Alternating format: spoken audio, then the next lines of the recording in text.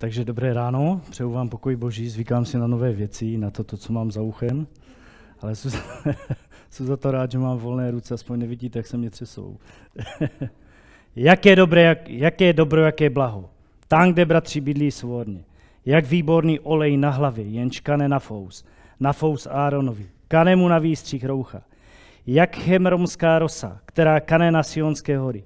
Tam udílí hospodin své požehnání, život na věky. Je to žám 133. Je to o tom, o čem chci mluvit. O tom, že jsme tady v jednotě, v místním sboru. Ta, to dnešní téma kázání je služba v místním sboru. Co to je místní sbor? To je nějaká skupina křesťanů, kteří uvěřili v Ježíše Krista a na nějakém místě se schromažďují. Že? A to jsme my. To jsme my tady. To, co jsme slyšeli, ty svědectví, to všechno k tomu patří. To je všechno o té jedné rodině, o nás. A proč je teda důležité být součástí místního sboru? Někam patřit. Potřebujeme vůbec místní sbor? Potřebujeme takové schromažďování, takové věci dělat? My žijeme v době, která je velmi technicky vyspělá. Vždyť si přece můžeme kázání pustit na YouTube. Chválí, cokoliv. Tak proč nemůže být naším pastorem tablet proč nemůže být chválící skupinkou iPad, iPhone a já nevím, co všechno máme, všelijaké zařízení? Proč tedy někam vůbec chodit a být spolu, když si to můžeme poslechnout v pohodlíčku doma, bez nějakých nervů, ne?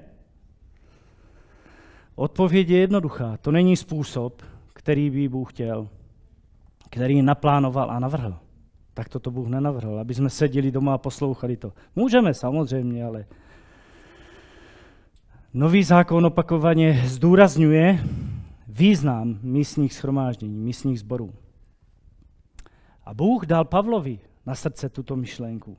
A Pavel byl v tom velice šikovný, zakládal ty místní sbory v Efezu, v Galacii, v Tesalonice. Chodil a zakládal, vyučoval, nové služebníky a uváděli jich do té služby. A oni to dál konali, dál šli a dělali to. Byli spolu, lámali spolu ten chléb, měli tu večeři páni a byli v jednotě. E, všechno schromažďovali a potom dávali potřebným, chudým a tak dále. Petr minule o tom mluvil. Služba městu. To je všechno zapotřebí dělat, samozřejmě. List Židům 10, 24 až 25 mluví o tom, že každý věřící má být součástí takového místního sboru a církve. A odhaluje, proč je to nutné. Mějte zájem jeden o druhého. Pozbuzujme se k lásce, k dobrým skutkům. Nezanedbávejme společná schromáždění, jak to mají někteří ve zvyku. Ale napomínejte se tím více, čím více vidíte, že se blíží den Kristův. To aktivní zapojení, ten zájem jeden o druhého, to je to, co Bůh po nás chce. To je to, co máme dělat a je to nezbytým předpokladem pro život bez kompromisů. Bible vysvětluje, že církev poskytuje takové prostředí. A poskytuje, kde se můžeme vyučovat, kde se můžeme pozbuzovat, kde můžeme dělat věci na boží slávu. Ale e, příliš mnoho dneska lidí chce být jenom takovými, e, takovými církevními spotřebiteli. Je to eh, v němž by jenom prospívali, v němž by jenom, eh, jenom by chodili a nic vlastně, nic vlastně nepřiložili, jak se říká, ruku dílu a nechtějí být členy té místní církve.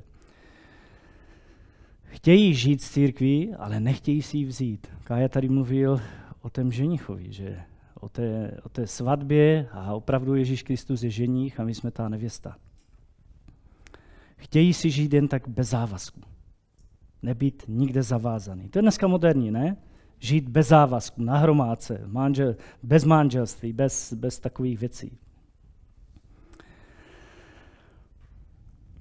Chtějí výhody církve takoví lidé, chtějí požehnání, chtějí modlitby, chtějí uzdravení, chtějí, aby jim sloužili pastoři, aby jich naštěvovali, chtějí jenom brát. Nechtějí však vzít tu zodpovědnost a stát se členy místního sboru, sloužit potřebným, přispívat, využívat své duchovní dary k růstu církve, modlit se za druhé, pomáhat jim v jejich potřebách a tak dále. Protože těch potřeb, to, co prožíváme, je spoustu. Je to stejné jako v rodině, že? Je to stejné jako v rodině. My nechodíme domů proto, abychom jenom využili tu rodinu, abychom jenom brali, nic tam nepřinesli a je mě to jedno, jenom vezmu a jdu dál. A kdo tak žije, tak žije špatně. To je špatné. Tak vůbec, tak se nedá žít. Nic nepřinášet. A boží vůle je, abychom byli spolu v té místní církvi, aby jsme eh, tvořili takovou rodinu, která si pomáhá, která se motivuje, která opravdu dělá věci na boží slávu. Každý křesťan by měl být oddaným, dobrovolným členem církve. A to nejenom tím příležitostním, který přijdu si, kdy já chci, jak se mě to hodí, však nejsou na nic zvázaný. Když je nějaký konflikt, tak to upustím, uteču, to mě nezajímá, do toho se nebudu pléct, to je vaša věc, dělejte si to, jak chcete, mě vyhovuje jenom tyto věci. Do manželství vstupujeme taky dobrovolně, nebo ne? Vstoupili jste do manželství dobrovolně, nebo vás jste byli přinuceni? Já myslím, že jste vstoupili dobrovolně, protože jste svého partnera, protože milujete svého partnera. Jo? Vstupujete na základě lásky, že ho milujete svého partnera. Vzájemně ty si slibujete před Bohem, že si budete věrní, že budete spolu v těch dobách těžkých, v těch zlých i dobrých, dokud vás smrt nerozdělí. To slibujeme Bohu. Není to samé s církví? Není to to samé, když vstupujeme do vztahu s Kristem? Vstupujeme do manželství a potom poznáváme ty věci. Potom se potěšujeme, pozbuzujeme. Jsme v těch těžkých chvílích a řešíme to spolu, komunikujeme. Jsme v těch dobrých i zlých věcích a poznáváme se a potřebujeme jeden druhého. K tomu vedeme děti, vychováváme jich. A my jsme pro nich tím vzorem. Muž má být knězem ve vlastní rodině. A tak by to mělo být i v církvi. Pokud to tak nechápeme, že my jsme nevěsta a on je ženich a nechceme vstoupit do toho vztahu, tak je něco špatné v našem srdci. Něco je špatně, něco jsme špatně pochopili, něco je e, zlé. Protože dneska slyším spoustu lidí, kteří říkají, nemusíš být členem žádné církve a můžeš zvěstovat evangelium. Ano, Potom popíráš Boží slovo, které o tom jasně mluví. Že on je tělem, my jsme tělo a on je hlavou. Potom toto popíráme, protože říkáme, já budu jenom ruka a budu si dělat, co já chci. Tak to nemá být ale, tak to nefunguje. V podstatě je problém velký, eh, že počet křesťanů, spoustu počet, jako hodně křesťanů, přistupuje k místní církvi s takovou konzumní mentalitou. Jenom brát vidí sebe jako spotřebitelský produkt. Výrobkem je bohoslužba, kázání, služba dětem, takže budu chodit do církve, pokud to není moc nepříjemné. Podobají se zákazníkům, kteří si kupují určitou značku obuvy nebo oblečení a když je to někde levnější, tak jdou do jiného obchodu. Nejsou věrní tomu, kam chodí. A nikdy my, my bychom nikdy neměli přistupovat s takovým, s takým postojem, jako jak daleko budu muset řídit. Kolik mého času to bude vyžadovat. Co do toho budu muset investovat. Všechny tyto otázky pocházejí ze světského spotřebitelského postoje. Když se připojíme nějakému místnímu sboru nebo církvi, neměli bychom být jako pijavice, která jenom saje, saje a potom přestoupí zase na jiného. Kde, a když ho vysaje, tak zase jde jinam, že? Tak to spousta lidí dělá. Ale Bůh chce, aby jsme byli zapojeni, aby jsme v tom byli věrní, aby jsme eh, ty věci dělali na jeho slávu. To není o tom, že my jsme v tom dobří, ale ty schopnosti a ty věci nám dává Bůh. Protože služba, služba Bohu je postojem našeho srdce. To je postoj našeho srdce a vztah ke Ježíši Kristu. To je o lásce. To není o tom, že dobře, tak teď mám službu, budu sloužit a ostatní mě nezajímá. To je špatné zaměření. My to děláme pro Pána Ježíše. My to děláme proto, aby Boží království rostlo. To není jako, že aby já to teď dělám a to je moje a ostatní mě nezajímají. To tak vůbec nemá být. Protože v Ježíši Kristu nacházíme ten pokoj, to utišení, tu jistotu. To je v něm, když k němu přicházíme. Když jsme na kolenou, tam začíná ta služba. Jestliže nejsme v těch pokojících na kolenou, jestliže se nemodlíme, jestliže si nečteme a nemáme ten vztah s Kristem, tak to ani fungovat nebude. To začíná služba druhým, služba potřebný, služba Bohu začíná v pokojíku na kolenou. Tam to všechno začíná. To je o tom vztahu. O osobním vztahu s Kristem. Jestliže máme jenom náboženství, to fungovat nebude. Nějak dělat budeme, ale to, co Bůh zamýšlí, to fungovat tak to nebude. To funguje jenom tehdy, když opravdu o to usilujeme, když to srdce máme. Když Kristus roste v nás, my se zmenšujeme. My se zmenšujeme. Už nebude to naše já viditelné. Já, já, já. Ale budeme se zmenšovat. A tak to je. A jestliže se zmenšujeme, tak budeme dávat prostor druhým lidem. Budeme, je to o tom, aby my jsme dali prostor druhým, aby oni mohli vyniknout a přát si jeden druhému. Ne, že si závidět a říkat, no tak temu to kvete, mě ne, no tak jo. Ne, ne, ne, to je o tom, že si žehnáme. Že si máme žehnat a že máme jeden druhému přát. Nech ta služba kvete. Jestliže kvete chvála pánu, tak my máme žehnat. A tam, kde to nekvete, tam, kde to třeba uvadá, tak co máme dělat? No zasadit se za to v modlitbách, aby to rostlo, aby to znovu bylo funkční. Tak jak posledně tu bylo eh, to díku vzdání a bylo to spoustu ovoce, zeleniny, ta úroda, Peťa o tom mluvil. A to je to, co máme vydávat. A to je to, co máme přát, aby jsme jeden, druhý nesli to ovoce a bylo to na boží slávu. Není to jednoduché, ale ne slabosti slabých, že? Není to jednoduché. Protože v podanosti Kristu se podřizují se jedni druhým. V tom se odráží boží láska. Když jsme v podanosti Kristu a milujeme se navzájem, pomáháme si. A opravdu ty slabosti slabých nést, to není jednoduché. V praxi to znamená, pokud vidíš slabost svého bratra nebo sestry, potom mu začni sloužit v lásce, ale tak, aby jeho slabost byla láskou posilněna. ne naopak, aby naší osobní silou a netaktností byl zahamben ten člověk. Mnohdy se to děje, že jsou lidé zahambováni tím, že mu něco prskneme, tím, že mu v té slabosti řekneme, urazíme toho člověka a potom není divu, že už nechce přijít takový člověk. Když mu vyčteme nějakou věc, to není vůbec to není vůbec o tom, aby jsme někomu něco vyčítali, ale aby jsme ho naopak motivovali. Kdo ti dal vyniknout? V 1. Korinským 4.7. Kdo ti dal vyniknout? Máš něco, abys, eh, něco, co bys nebyl dostal, a když jsi to dostal, proč se chlubíš, jako bys to nebyl dostal? Proto nás Bůh znovu a znovu volá k tomu, abychom si oblékli trpělivý soucit. Měli jeden s druhými soucit. Aby jsme se nevychloubali. Já jsem v něčem lepší než ty. V tom to vůbec není, ale. Tak se podívejme, jak Pavel popisuje typické setkání církve v Korintu. 1. Korinským 14.26. Co z toho plíne, bratři? Když se schromažďujete, jeden má žálm, druhý slovo naučení, jiný zjevení od Boha, ještě jiný promluví ve vytržení a další to vyloží. Všecko, ať to slouží k společnému růstu. Tak to si tam sloužili. Tak to jeden druhého pozbuzovali.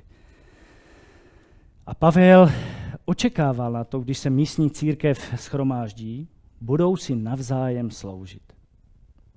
On nečekal, že někdo dojde a nám bude vysávat. Ale naopak, že si budou pomáhat, že se budou motivovat, že si budou sloužit i dary Ducha Svatého. Každý je slouží druhým tím darem milosti, který přijal.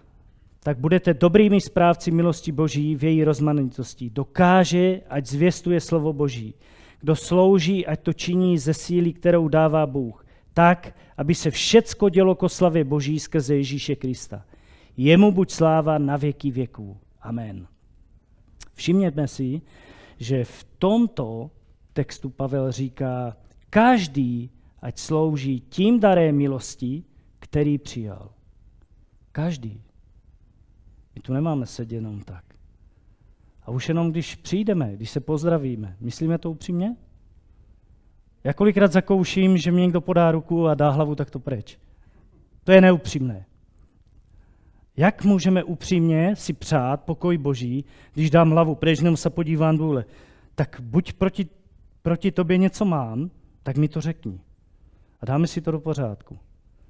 A nebo teda opravdu, jestli to myslíš upřímně, ten pokoj Boží, a chceš tak sloužit, že obejmeš bratra nebo sestru, ne každý to miluje, samozřejmě, každý jsme jiní, ale podívej se mu do očí. Jestliže uhýbáš už jenom pohledem, něco není v pořádku. A zakoušíme to.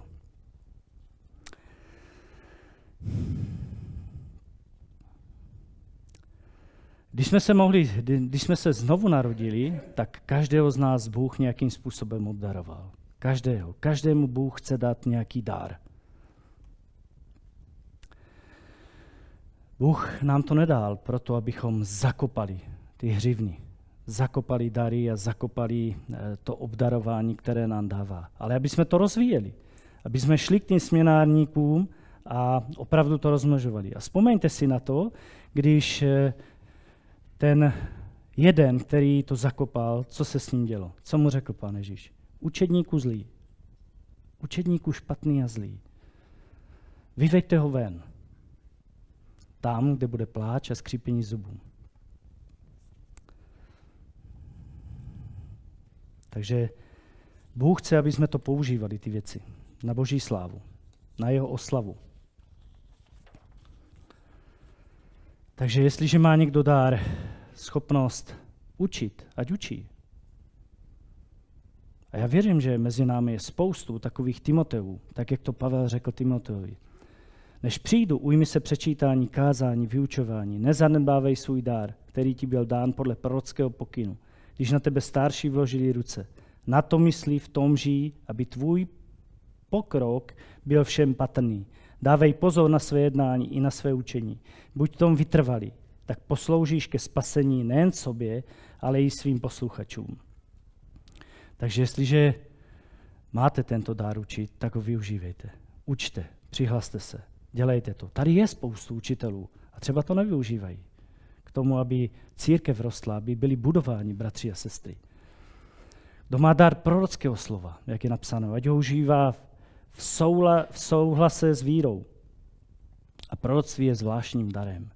A církev ho potřebuje. Jak jsme nadšení, když sem dojde prorok, třeba je Traut, a prorokuje budoucnost, to, co Bůh s námi plánuje, tak lidi na to čekají. A mezi námi nejsou proroci? Jsou. Tak služme jedni druhým, služme tím proroctvím. Jako proroci to když si neměli jednoduché ve starém zákoně, že? Když prorokovali nepříjemné věci, tak jich lidi za to kamenovali, házeli jich do jámy a tak dále, řezali jich pilou a byli mučeni, týráni. Zatím se to neděje. Zatím nás Bůh pořád motivuje, pozbuzuje. A máme se připravovat na to, že přijde a on přijde. A my na to máme být připraveni. Teď byla zase taková kachna, vyletěla, včera mělo být vytržení, nějaký pastor to vypočítal a tam vždycky mám jistotu, nebo Rudek vždycky říkal, jestliže někdo vypočítá nějaký datum, tam máte jistotu, že se to nestane. Samozřejmě, že se to nestalo. Kachna, samé kachny. Musíme být na to opatrní. Co čteme, kdo co přináší. Protože budou přicházet takový draví vaci.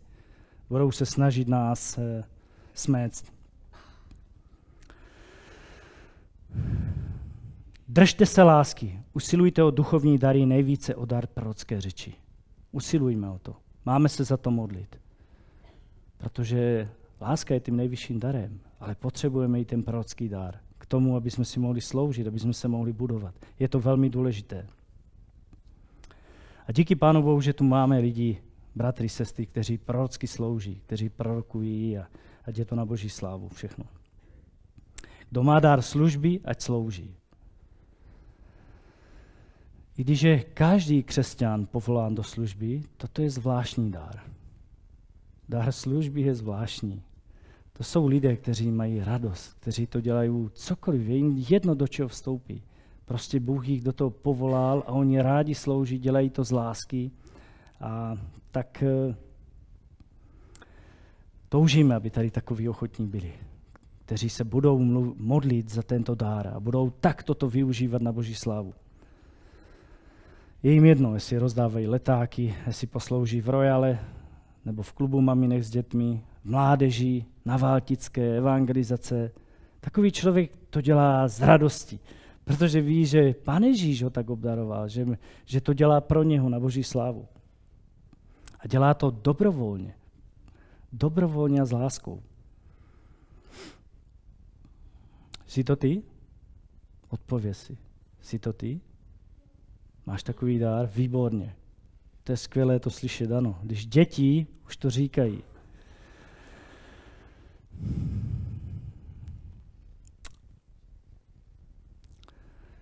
Pozbuzování. To je velmi důležité. Takovým darem sloužit. S tím můžeme sloužit všichni. Pozbuzovat jeden druhého, motivovat.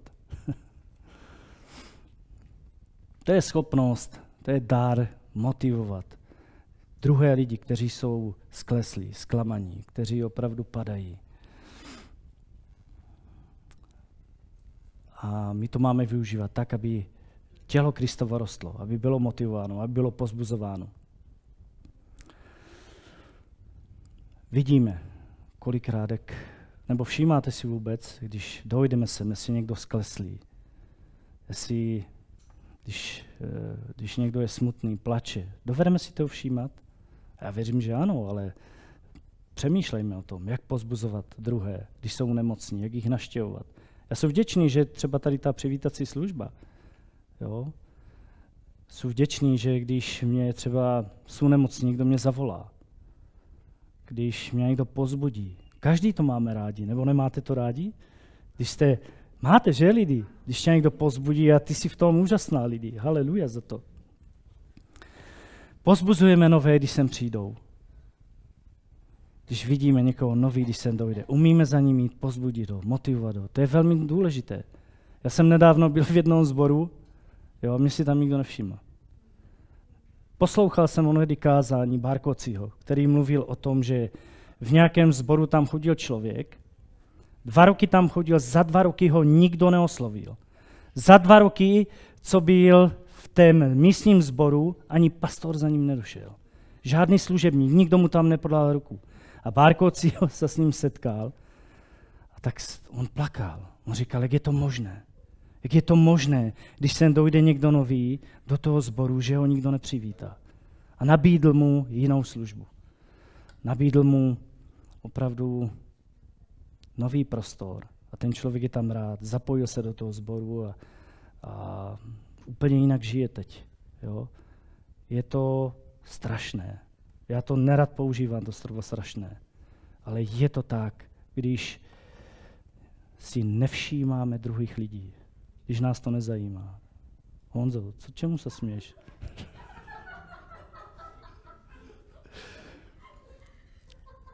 A tak pozbuzujme jeden druhého laskavým, takovým způsobem. Neruš, Honzo.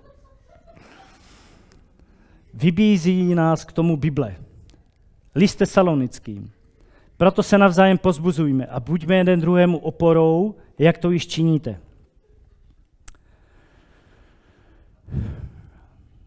To je velmi, už to sklidněte, to je velmi důležitý dar pro církev. Pozbuzování. Dělejme to, motivujme se, pozbuzujme se. Ale taky se můžeme napomínat.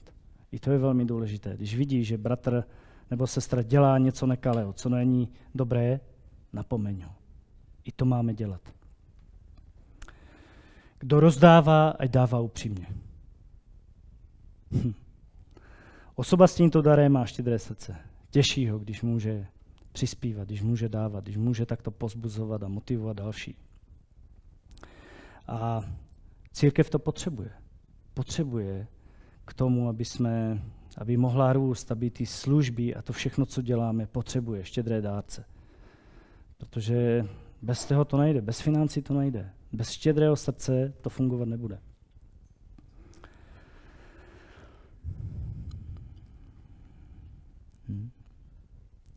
takový člověk je Bohu cený a milý. Když to dělá z lásky, když to dělá dobrovolně, nikdo ho k tému nemusí nutit. A tak by to mělo být.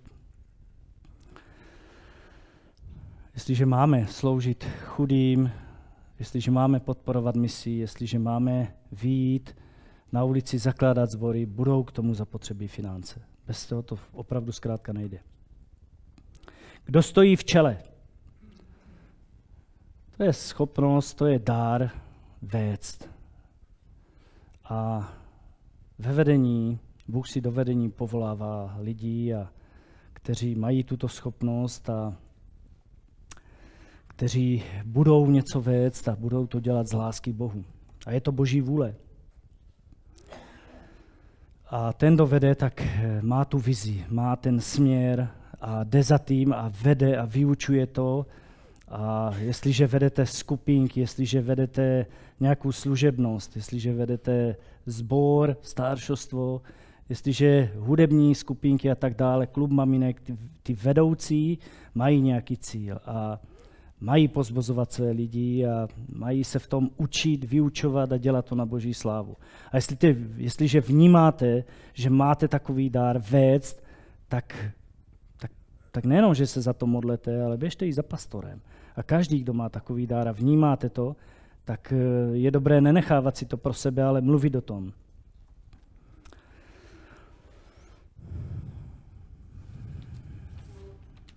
Takže eh, je to zapotřebí, aby jsme takové věci dělali. Církev potřebuje vědět, kam jde, co budeme dělat i v té místní církvi. My to potřebujeme vědět, potřebujeme mět a modlit se za ty, kdo jsou eh, ve vedení, kdo, kdo vedou, potřebujeme jim žehnat a stát za nima a podporovat je. Také mít soucit. To je, eh, to je dár, který je velice důležitý. A máme tu lidi, kteří mají soucit s druhými, kteří přistupují, až jsou ochotní eh, druhé potěšovat a pozbuzovat. A je to dobré, protože kolem nás je spoustu bezdomovců, spoustu lidí, kteří nemají kudy kam, jsou v drogách, v alkoholu, jsou um, opravdu zmítáni kde jakou falší a mít soucit s těmito lidmi, jít za nimi, potěšovat je, pozbuzovat je, to je potřeba dělat. Potřeba za to se modlit. Bože, dej mi takové srdce, jak máš ty. Dej mi soucit ke ztracený, dej mi soucit k jednomu, k druhému, k bratrům, k sestrám. Máme si navzájem takto sloužit, ale máme také ven. Takže to, to je druhá stránka věcí. A těch, kteří trpí, máme kolem sebe spoustu. Vidíme to každý den. Pokud zjistíte, že pláčete s osobou, která pláče, tak je tam předpoklad, že máte tento dár, že máte soucit s těmito lidmi. A my si to můžeme snadno překontrolovat, zjistit. A jak by tato osoba měla, osoba měla fungovat s tímto darem? Římanům 12.18 říká z radostí. Proč z radostí sloužit těm, kdo jsou zkroušení, smutní? Tím nemyslím vysmívat se jim, ale z radostí v srdci jim posloužit. Protože pokud budete sloužit se smutnou tváří, s takovým tragickým, s tragickým postojem, tak toho člověka to ještě víc zdeptá. Bude to pro něho ještě větším břemenem. Ale s radostí mu sloužit, s láskou.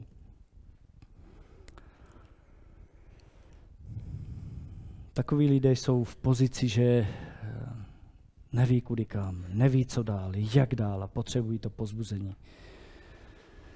A když jim sloužíme, potřebujeme sami radostní, sami mít soucít a e, pozbuzovat jich. Ale toto není úplný seznam duchovních darů, protože v prvním listu korinským Pavel uvádí další, další řadu darů, který je já, kdybych to, to bychom mohli další hodinu o tom mluvit, to nechci. Protože to si můžeme sami přečíst a přemýšlet o tom, jak si nás Bůh použije. Jak, jak je naše srdce nastavené na to, abychom takto sloužili.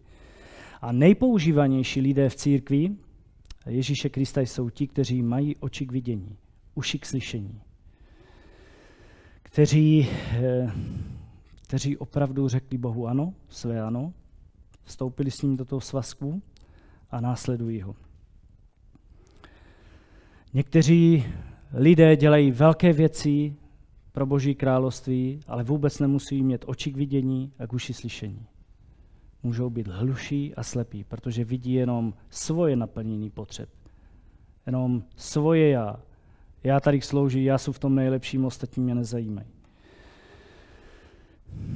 Prostým faktem je, že Ježíš Kristus, který ve mně žije, není ani slepý, ani hluchý. a jeho slovo říká, já první list Janům 3.17. Máli někdo nedostatek a vidí, že jeho bratr má nouzi a bez soucitu se od něho odvrátí, jak v něm může zůstávat boží láska? Jak?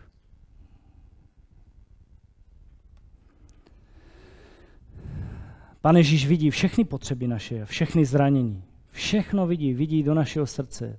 A slyší sténání a pláč sklíčených. A on na to reaguje. A jestliže já mám být víc jako Ježíš Kristus, jestliže mám být jako on, potom musím mít oči, které vidí ty věci a uši, které to slyší. Tohle je Kristova láska. Slyšet bolestný pláč zoufalých, zraněného člověka, který si neví rady. Hladové, lidi, kteří nemají co doust. Děti, kteří jsou, které jsou trápeny, týrány. Lidi topící se v drogách, v drogách, v alkoholu, v gamblerství. Zoufalý pláč hladových, chudých, zraněných, týraných.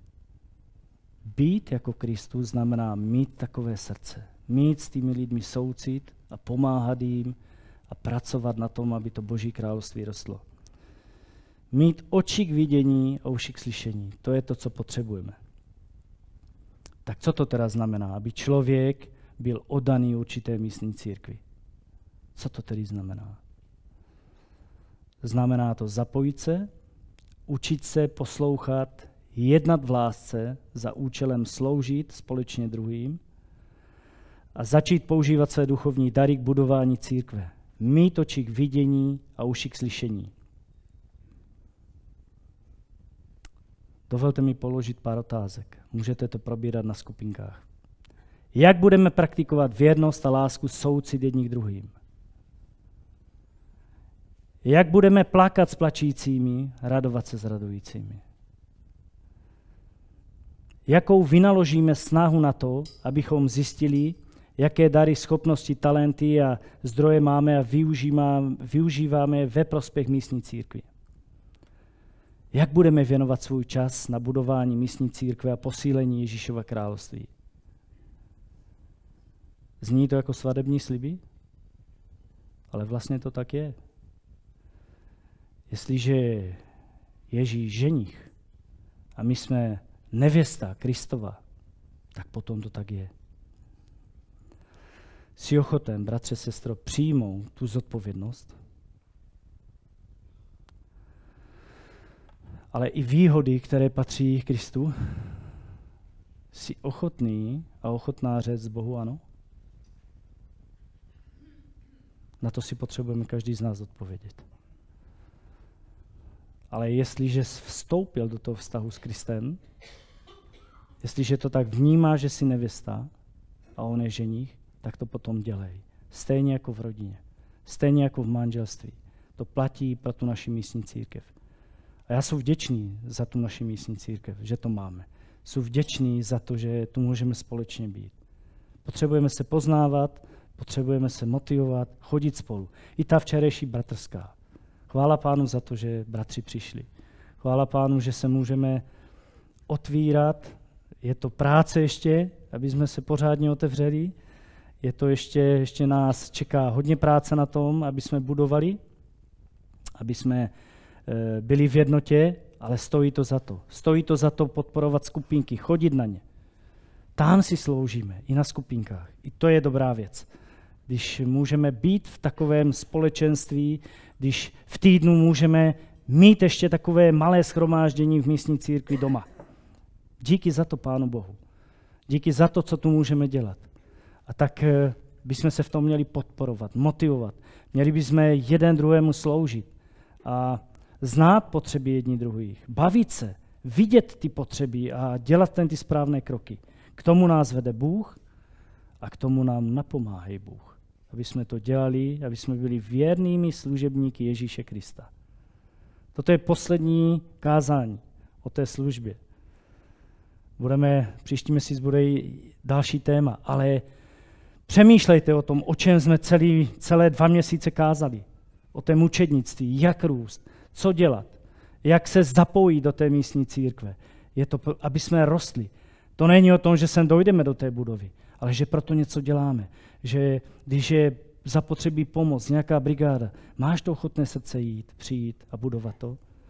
Máš to ochotné srdce pomáhat, navštěvovat nemocné třeba, jít na LDNku, dělat věci, které jsou zapotřebí.